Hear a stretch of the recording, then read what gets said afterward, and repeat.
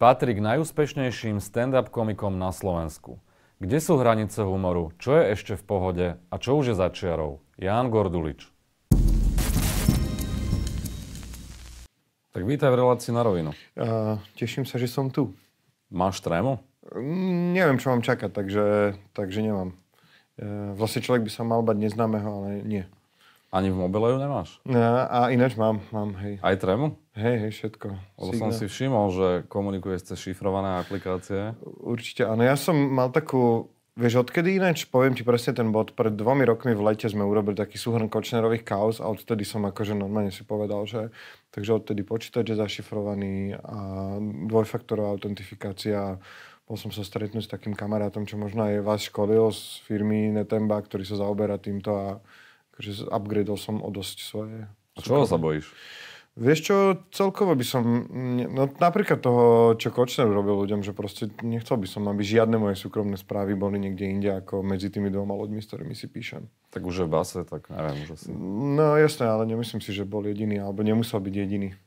Takže pre istotu, preventívne. Ale áno, pretože sú takí ľudia, že ja sa nemám čoho báť, nemám čo skrývať, že, no že áno, tak to je pekné, ale na druhej strane takisto nechcel by som, aby niekto čítal veci, ktoré si píšem a vedel, čo mám v notebooku, aj keď tam nemám nič také. Ty máš čo skrývať? Tak každý má čo skrývať podľa mňa, ale...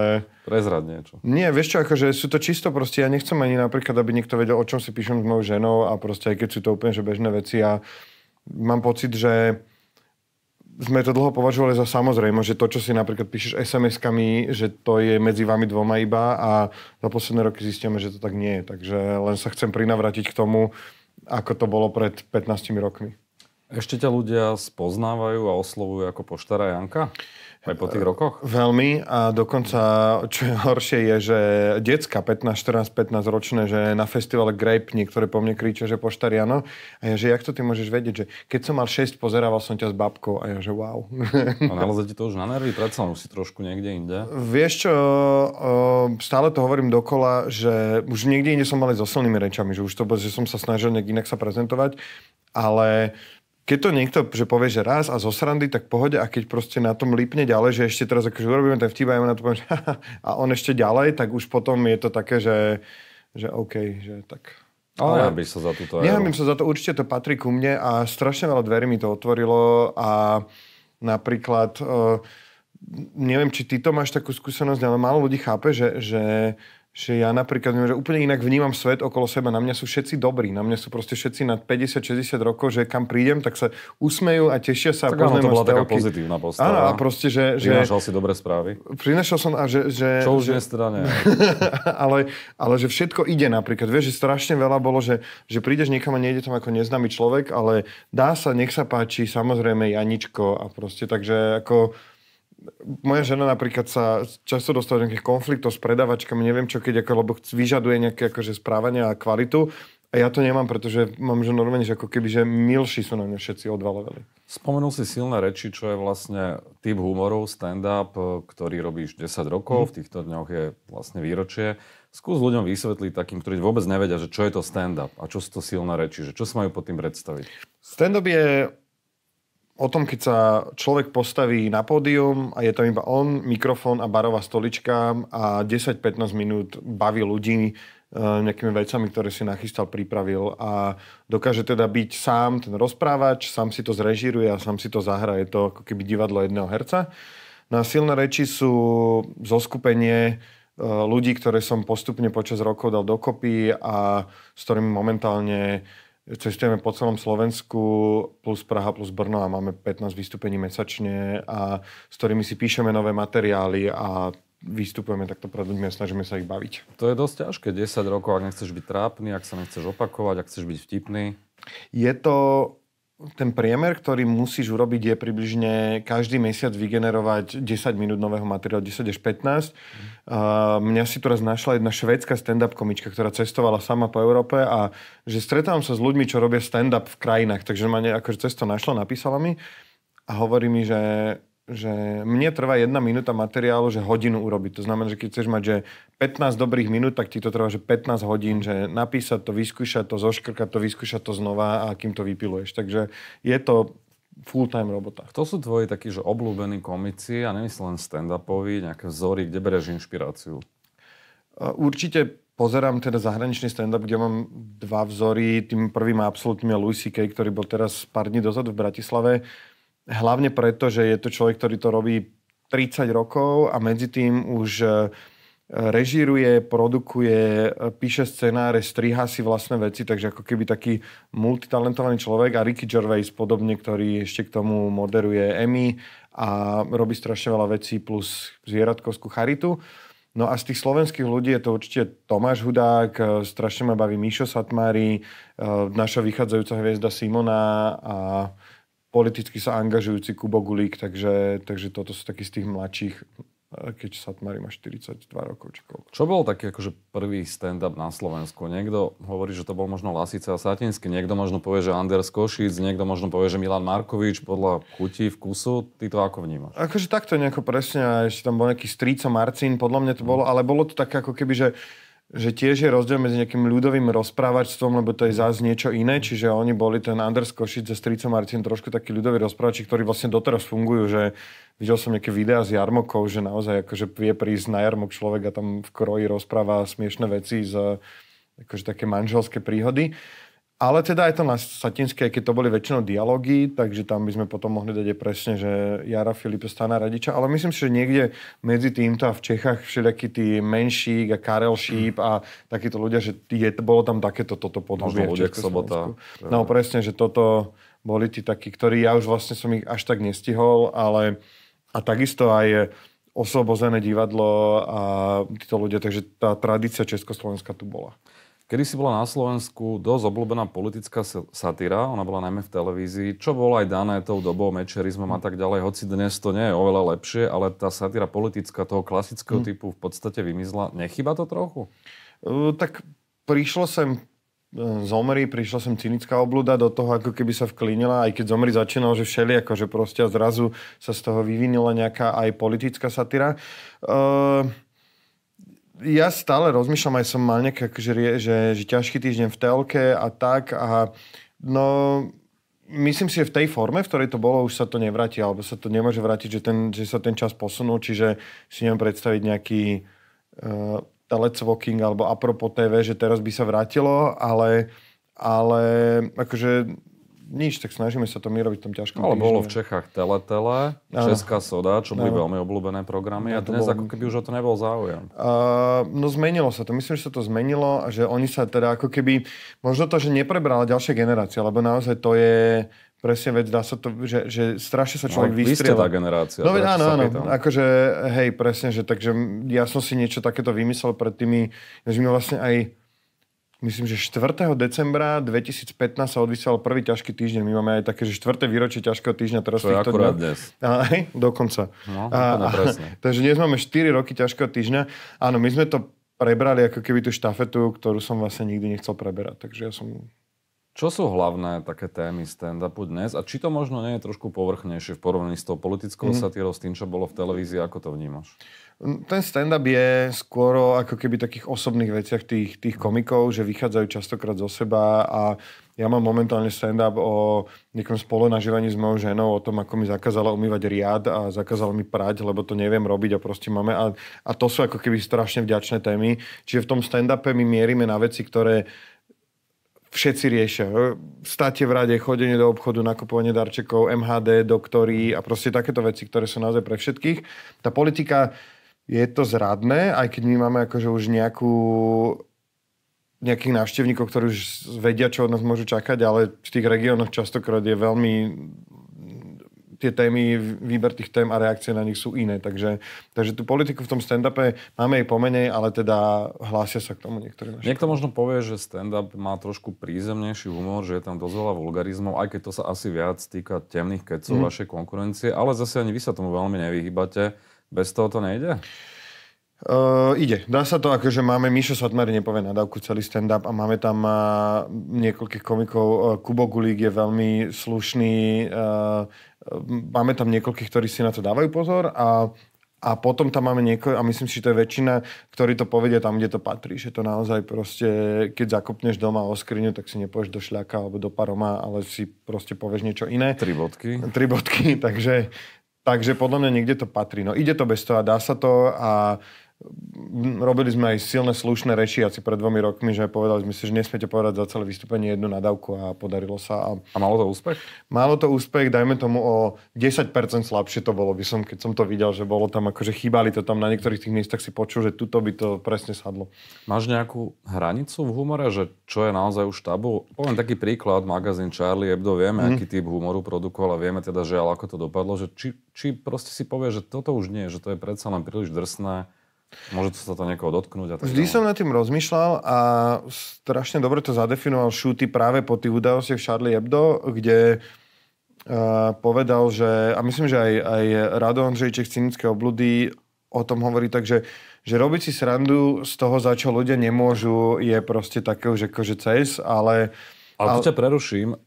Rok dozadu si vystupoval na večierku Ringeru, mm-hmm. nášho vydavateľstva a robil si si srandu zo zdravotne postihnutých. Pamätáš si to? Ale čo, čo som povedal? Rozmýšľam, že... Nepamätám si, že, že úplne detaily, to... ale viem, že keď som to pozeral, si hovorím, že uh-huh. toto sa mi zdá byť, to je presne to, že tí ľudia za to nemôžu. Hey, hey, hey, áno, a, a to som si teraz nasral do huby hneď rovno, ale... Tam to bolo podľa mňa fakt cez čeru. Ale ako keby No jasné, ale nebol to konkrétny človek, takže... No, to nie, áno, áno, jasné. A čiže, čiže možno proste naozaj, že, že nejaký konkrétny človek, že aha, aha, tento, tomuto sa stalo toto. Čiže proste skôr z ľudskej hlúposti z nejakých, ale možno niekde tam je tá čiara. No. Tak možno... Rečová vada.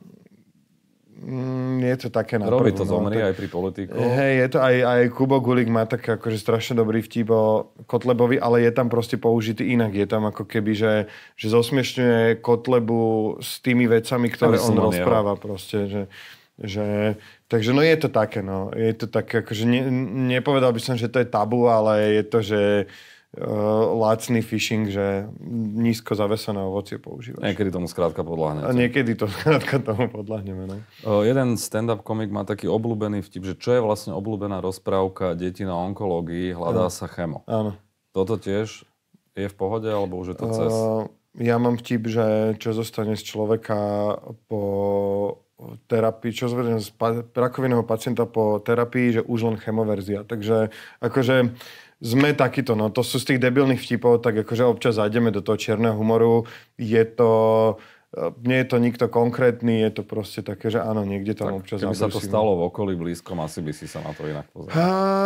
rozmýšľam, lebo sa to stalo v mojom blízkom okolí, hmm. takže vlastne mojej manželke otec zomrel na nejakú formu rakoviny a tiež to nie nadšená, ale ako keby si zvykla si aj ona pri tom, na to u mňa. Takže, takže je to, ja ja som v tomto úplný debil. Akože v tomto som úplne iný a naozaj uh, aj komikom som hovoril, že keď zomrem a čokoľvek sa mi stane, poprosím že kľudne ešte v ten večer si z toho môžete robiť srandu a povedal som to mojej žene, že som im to dovolil, takže ako keby v tomto, keď je ten vtip nejaký sofistikovaný alebo dobrý, alebo sa hodí, že tak sadne, tak vtedy je to podľa mňa. Hovorí, že máte zhruba 15 vystúpení mesačne. Koľko dnes zarába taký stand-up komik? Je to dobrý je, biznis? Je, akože je. Uh, ja som to už viackrát spomínal, nie je to nejaké tajomstvo. Uh, Koľko je honorár za vystúpenie na vystúpenie silných Momentálne rečí máme, že 210 eur. Na osobu. Bo, áno, bolo to 200 a potom sa všetci hádali, že musia chodiť taxikom na Trnavské, odkiaľ odchádza mikrobus na výjazdy, tak ja som povedal, že každému vám dávam 5 eur na taxík tam a naspäť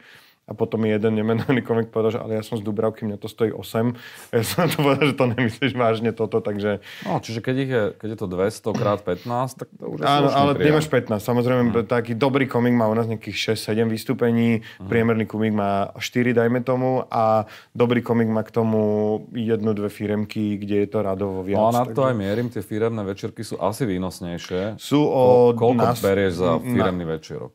Veľkej firmy. Uh je to niekde medzi 800 a 1500 eur podľa toho, koľko to trvá, čo tam všetko robím. A, a, ale je to drina a tie firmy sú proste na to nachystané. Na to koľko trvá to vystúpenie? No ono je to, my robíme 15 minút, máme uh-huh. tam akože, čiže keď povedia, že chceme 30, tak im poviem, že zavoláte si dvoch, uh-huh. lebo je to drina. Akože boli momenty, kedy som vystupoval a proste nikto sa nesmial, bolo to, že úplne peklo, lebo to bolo v nevhodnom čase, nepoznali tam nejaký človek z marketingu, že ja som váš fanúšik, ale zvyšok tých ľudí, ktoré montujú plynové kotle, ktorý má, pre ktorý tá party, netušili, čo tam robím.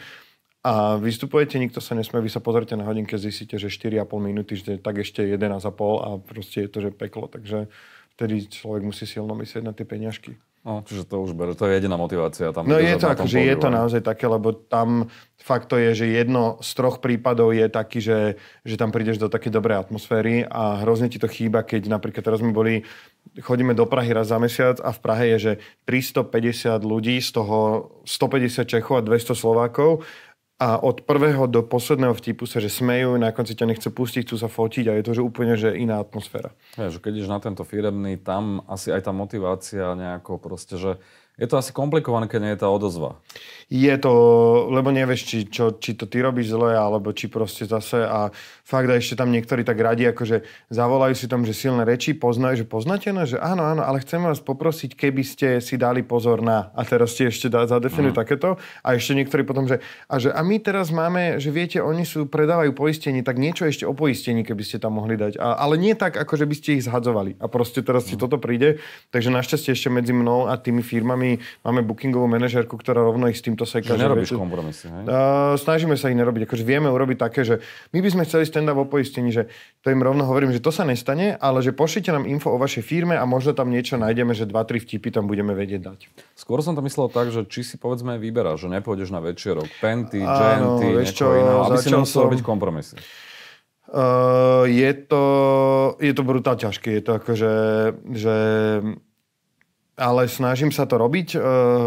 Pred dvomi, tromi rokmi som moderoval niekoľko IT firiem, až teda som sa proste tak zastavil a pozrel som si ako keby to, tie kauzy okolo tých, toho ITčka, toho Slovenska SK a zrušil som niekoľko tých moderovačiek. Potom oni, že ale to nie je pre ten management, to pre tých bežných programátorov, tu sú v pohode chalani, čo proste tu kódujú tie veci. A že hej, no ale vy ako firma, že ja s tým mám problém, takže, takže sú niektoré takéto veci. A ako keby už ma ani nevolajú proste na takéto vystúpenia. Ja poviem taký príklad, mne to spomínal Kubo Lúžina, že bol na večerku firemnom uh, e, GNT, kam mm-hmm. si ty z nejakých dôvodov, už neviem presne akých odmietol ísť a on na tom večierku im tam 5 minút nakladal že proste kradnú eurofondy, štátne peniaze, oni na ňo pozerali samozrejme mm. vyjavene, ale vlastne využil tú príležitosť, že keď už tam mm. som, tak už im poviem od srdca, čo si myslím. Veď to je celkom dobré, ne? Je, Ešte ako... za to aj zaplatia. Hej, hey, no, len je to proste otázka, že či čo tým dosiahneš a či to proste je vlastne nejaké fér, alebo neviem, že či proste by som to, že niekto si ma zaplatí a my tam prídem nakladať a že čo potom, jak sa človek musí cítiť, keď ide z toho pody a príde za ním tá manažerka, že mhm. Tak je to frajery, no. Však áno, no jasné. Uh, neviem, nerobím to, radšej poviem nie, akože som taký, mm. že, že a samozrejme, ako náhle som toto vyslovil, tak sa bude dať, dať dohľadať Ale nejaké žurky, ktoré sú... Robia iní. Uh, neviem, tak sú to také, akože nejaké, niekedy už je to, že fakt cez proste, že keď sú také očividné proste konflikty záujmov, že, že tak je to zvláštne, no. Politické strany ťa neoslovujú na svoje večerky? Oslovujú, hej, hej. A, a dokonca aj mám akože kamarátov a, a dokonca mám to momentálne tak, že by som nešiel ani pre stranu, ktorú by som volil niečo robiť. Ani si nikdy nebol? Ani som, bol som pred, ináč bol som asi predposledné voľby som bol robiť pre Európsku demokratickú stranu, som moderoval mítingy, ale vtedy som nerobil nič z tohto, čo robím a bolo to, to také ako... To bolo, že ED, EDS sa to volalo. To nebolo náhodou Urbáni? Nie, nie, to bol, on to bol taký Talian. Uh, Antonio Parciale sa volal a mal tam akože dobré nápady, ale hrozne bolo vidno, že nemajú ľudí, proste strašne im tam chýbali, že normálne, že... To nebol prišiel... členom mafie talianskej. Mm, neviem ináč, akože, no, lebo polnohospodárstvo veľa riešil. No, tak vieš, eurofondy, roda. Akože, je to možné, ale neviem, ale mám taký, že, že chcel proste, že eurofondy na polnohospodárstvo, že dávať, že, že menším družstvám proste, nie, že aby to nebrali tie veľké firmy, že to bolo tak, pamätám si, že mám jednu peknú myšlienku. Ale... Pekné myšlienky mali aj Vadala a Roda, vieš. Hej, ale sa, ale je pravda, že som to neriešil. A druhá vec, čo je ešte prečo z tejto politické strany, že keď sme prešli s ťažkým týždňom sem, pred rokom aj niečo, tak som normálne bol, že u vtedajšieho riaditeľa Milana Dubca, ktorý som zavolal, normálne, že dobrý deň, vítajte na palube, môžete, máte 5 minút, že hej, a sadli sme si, že prosím, že dávajte si pozor od teraz, čo budete robiť, kam pôjdete, čo budete moderovať a normálne akože dostal som také akože pripomenutie veľké, silné, že áno, že rozumieme si a že takže ako na to stále myslím, že mám tu ako keby zodpovednosť, lebo toto je jedna z najprofesionálnejších redakcií, ktorej som externe súčasťou. Uh, ako sme už spomínali, tie silné reči riešiš skôr také bežné témy, ale práve v ťažkom týždni tam riešiš politiku a veľmi výrazne aj v poslednom čase vlastne od začiatku. Je to pomerne ostré, bez servitky, často na hrane. Možno niekto by hm. povedal, že občas až za. Volal ti už niekto, o kom si tam hovoril? Politík, mafián, biznismen, mm. ktokoľvek? Sťažoval sa? Nie, vôbec. Akože, a som strašne, strašne mi to je sympatické, pretože sa podľa mňa treba vedieť povzniesť. Raz mi myslím, že Rado Tomek uh, hovoril, ktorý je, myslím, že pracuje Novinár, pre Bloomberg, DJ, robí, myslím, že áno, áno. A on mi ho raz to, to bolo že dva roky alebo tri roky dozadu, že, že sme mali nejaký diel proste o rozpočte alebo o čom a že Kažimír ťa pozdravuje. A ja, že wow, že proste, že nemá nikto radšej nepozdravuje, že vôbec nič. to bolo, ale akože nebolo to, že vzlom, že pobavili sa, pustili si to, neviem, či to nebolo vtedy aj toho, t, či to niekedy v časoch, keď som urobil toho smejúceho sa Španiela, som tam s tým váhostavom. A, ale nie, nebolo nič také. Dve skupiny, ale to sú čisto fanošikovia a falošné facebookové profily, je, že Kotlebu, keď sa dotkneme a Kufu, keď sa dotkneme. Proste toto sú dve veci, ktoré zaručene mi príde proste nejaké úplne debilné veci. A že... Aj akože vyhrážky, fyzickú Na, Vyhrážky akože bolo jeden jediný krát, kde proste človek, že viem, kam chodíš cvičiť do fitka a že, že vyzývam ťa na súboj a že ty boxuješ, tak si to vybavíme a takéto. Čo som hneď akože urobil si screenshoty a išiel som na policiu, pretože si myslím, že túto ja kreslím tú čiaru a chcem, aby to aj všetci vedeli, aj to bol taký odkaz, aj som si to vyšeroval, že budem to hneď riešiť s policiou, pretože jedna vec je, že mi napíše, že ty toto a toto, tvoja matka toto a toto a neviem čo, ale, ale druhá vec je, keď sa mi budeš vyhražať nejakým fyzickým násilím, tak ja si myslím, že tam treba stavať tú stenu. Už ťa niekto zažaloval, alebo chce zažalovať, vyhražal sa? Vy... Uh, Zatiaľ nie, zatiaľ nie. Ani dokonca jediná vlastne, neviem, či to nebolo toto v aktuáli, tak jediné bolo nejaké že autorské práva, že použili sme nejaký dronový záber človeka z YouTube, ktorý je že slovenský dronista, ktorý sa živí tým, že robí dronové zábery a dali sme do jednoducho mafia, tuším tri, že dronový záber vysokých tatier, tak mu niekto musel vyplatiť nejaké peniaze. Takže... Ja som počul, že si z potenciálnych žalob dosť strese. Uh, som, čoho, sa, čoho sa bojíš? Nie, uh, no ja s tým vôbec nemám skúsenosť. Ja som jediný krát bol vypovedať, nie druhý, dvakrát som bol vypovedať na policia, jediný krát bol teda, keď som tohto typka, akože čo sa mi vyhražal, som bol hlásiť a no ja sa vlastne nechcem s tými orgánmi že nejak proste kontaktovať, že mi to nerobí dobre. Ty si bol niekedy na polícii, tam je to, že hrozné. Jak na klavír tam. Ale to je hrozné tam je proste. Mne je ľúto tých ľudí, že tam musia robiť, však tam sa to im to padá na hlavu. Tam na tej, kde som bol teraz, bol záves, ktorý toľkokrát bol odhrnutý, že cez neho bolo vidno tie vlákna, normálne, že bolo vypadané to vnútro z toho, že už nebol akože nepriesvitný. A mne to bolo, že, že to iba zveste a zahodte to už proste a že tam nikto sa ničo nechytil. No, takže... Kto sa paroduje najľahšie a kto možno najťažšie? Mm, no najľahšie sa parodujú všetci takí, ktorí, podľa mňa, ktorí, a to si myslím, že aj karikatúry sa ti potvrdí, že keď má niekto výrazné črty, tak sa dobre karikuje a keď niekto robí proste zásadné veľké vyhlásenia, máva rukami, dvíha hlas, tak to je proste... Povedz nejaké príklady jedného aj druhého uh, typu. Ja si myslím, že, že jeden typ je fakt, že však Danko je proste typický, aj bežný človek. Išiel som po Vianočných trhoch 4 dní dozadu a niečo sa proste rozprával dvaja typci a že že vieš čo, že ja som to ochutnal a že to proste, že vôbec, že ani vizuálne. A normálne, že toto si ľudia sa už rozprávajú, proste jeho hlášky si dávajú. No a teraz sa ma opýtala jedna redaktorka v Čechách, že, že strašne málo si robíme srandu z prezidentky, ale keď proste ona je, že elegantná, všeobecne obľúbená. všeobecne obľúbená, elegantná dáma, ktorá proste zároveň sem prídu Číňania, ona im dokáže povedať tú vec, ktorú proste že a normálnym kultivovaným spôsobom d, sa ich opýta a otvorí tému a že ako keby... Že... ale každý má nejaké chyby a zase... Áno. No, každý politik. Ale, ale to, pýtaš sa, že ale niekto, na niektorých sa hľadajú ťažšie. Proste paroduje sa to ťažšie, že, že naozaj... Uh, že, že proste ťažko sa hľadá na teraz, že museli by sme si viacerí sadnúť, že z čoho si ideme robiť srandu z, z Čaputovej. Možno z toho, že často mení garderoby, čo ale nie je samozrejme asi jej voľba. No, ale akože, a, no a počkaj, na jednej strane, a to je tiež sa mi páči, že často mení šaty a potom predstav si, že by došlo niekam dvakrát tých istých. Nemá na šaty proste, stále chodí v tých istých, vieš, akože nedá sa z toho vykorčulovať normálne. Že? Ty robíš ťažký týždeň aj naživo mm-hmm. v poslednom období, čo si predtým nerobil. Je to veľký rozdiel oproti práci a nahrávaniu v štúdiu? Je to oveľa lepšie pre tými ľuďmi, pretože máš ten feedback okamžite hneď a väčšinou vďaka mojej kolegyni, ktorá vlastne je teraz pevnou súčasťou, už nie som ťažký týždeň ja, ale som to hlavne ja, Lucia Pazičová, ktorou, ktorá ho pred dvoma rokmi k nám, alebo pred tromi prišla a začala na to tlačiť. Aj vďaka nej sme boli prvýkrát naživo na Pucungu.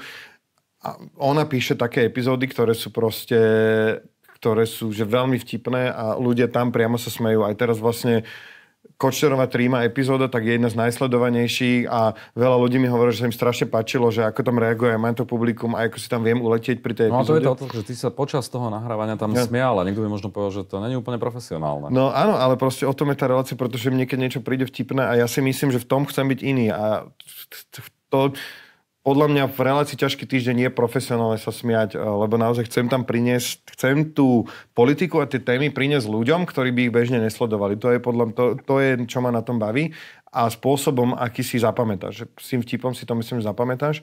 Takže v tomto je to úžasné. Ja ako keby som 10 rokov cestoval s tými silnými rečami a už akože naozaj pred rokom a pol som sa vykašľal na vystúpanie, že už nevládzem a zase si šijem na seba budu a ideme chodiť so živým ťažkým týždňom teraz. Pri silných rečiach je to naopak, ako, ako pri ťažkom týždni. Tam to bolo naživo a potom sa to presunulo do štúdia, respektíve do televízie. Mm-hmm. Uh, sú tam nejaké obmedzenia v televízii? No, asi vulgarizmy? Nie, vulgarizmy, a že ak ich nie je veľa, a normálne sme mali takú dohodu, že, že no, ono to išlo po 10, my sme išli o nejaké 3 na 11 a to nebol najväčší problém. My sme akože normálne mali takú, takú dohodu, že tri môžu byť v relácii. Čiže akože každý komik tam mohol mať 0,7 vulgarizmu. Tepo ich bolo 5 a paradoxne najväčší problém bol, že značky. Že nemôžeš povedať žiadne značky, nemôžeš povedať značku auta, pretože to auto má z hodou okolností zaplatenú 50 tisíc eurovú kampaň.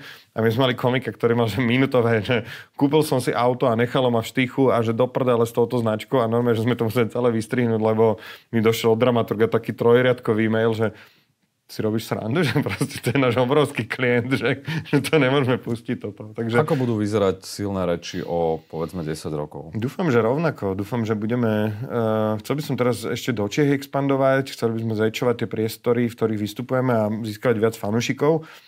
A super je, že ten stand-up sa dá robiť do akéhokoľvek veku. Tam sú proste 70-80 roční komici v Amerike a, a čo by som chcel, aby z tých jednotlivých komikov sa stávali mená a tváre. To znamená, že momentálne napríklad ty ako človek, ktorý to nesleduješ, môžeš poznať niekoho Miša Satmariho, Luizu, Šoka, možno Simonu a vlastne tam máme ďalších 15-10 ľudí, ktorých nepoznáš a rád by som bol, keby si o 10 rokov poznal aj tieto mená ako Jakub Gulík, Matej Adami uh, a tak ďalej.